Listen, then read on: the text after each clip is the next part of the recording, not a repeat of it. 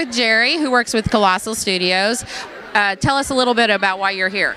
Well, we're here to support a great event, which is breast cancer, and also to meet all the fashion people of the, you know, the entire world, if not city.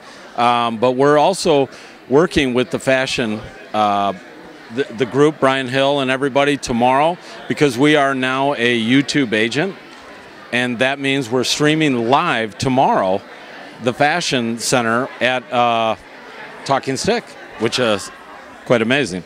No, that is great. I mean, we've been wanting to see that kind of exposure, so I'm glad that you guys have taken that step to do that. What else do you have planned for the rest of the Fashion Week then? Well, as far as it goes, we are a studio, so we're always looking to take our community people and put them in the movies that we have. Because next month, uh, I am proud to say that we have a movie coming in again. And uh, part of our uh, contract at Colossal Studios is to bring in local people, make sure that at least six or more have acting positions, and that the, the, the entire crew is, is available to work. So we're about creating jobs, and that's kind of what the uh, whole tax bill is about that I've been working with with Congress for over three months.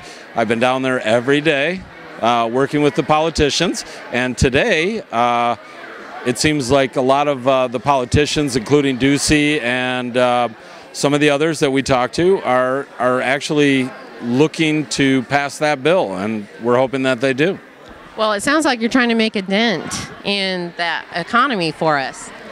Well, that that is the plan. I mean, we want to see uh, Scottsdale grow. We want to see it become, you know, they call it Valleywood, but in the in the essence, it, it could be the new Hollywood. So what we're looking to do is is obviously bring all of that here.